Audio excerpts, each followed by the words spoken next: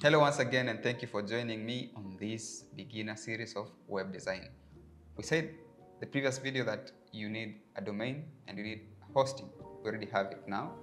Um, you can be able to research more. If you don't have it, please just research domain register it and then hosting. You can even get other services there. Like for example, GoDaddy, you can register your domain there and host at the same place. Or you can as well come to Hyder Digital Solutions.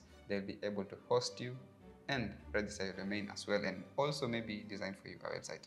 Um, so we left it at uh, WordPress, WordPress installation. So when you come to WordPress Toolkit here, on, on, on, on this uh, very uh, left corner, you can see WP Toolkit. Select it and you'll be able to see what that brings. Um, bear with me, my internet is not very fast. It's not very fast, but we are going to work with it anyhow. So when, once you come here, you can say install WordPress and then it will bring you this other uh, sidebar that is going to load the installation and so you can be able to put that installation details so it will be siha.so and then you can now write your the details what will be appearing as the name of that website.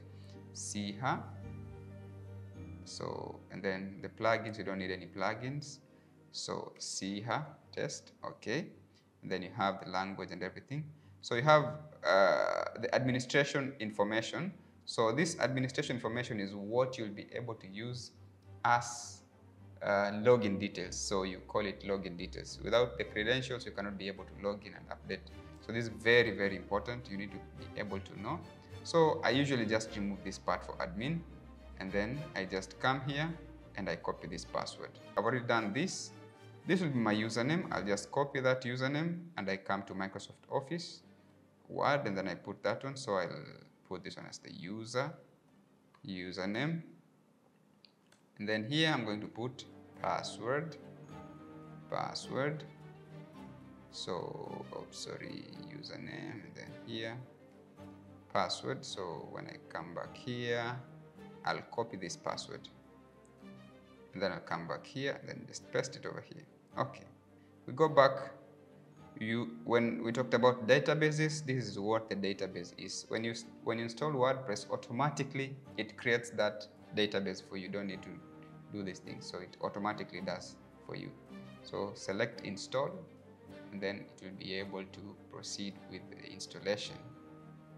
So you give it a few seconds to load and then it's starting to, you see it's downloading packages, creating databases, configuring an installation. So you can see, you can see finally it's already done and um, now we have our website which is already, uh, it's ready for us to start working on.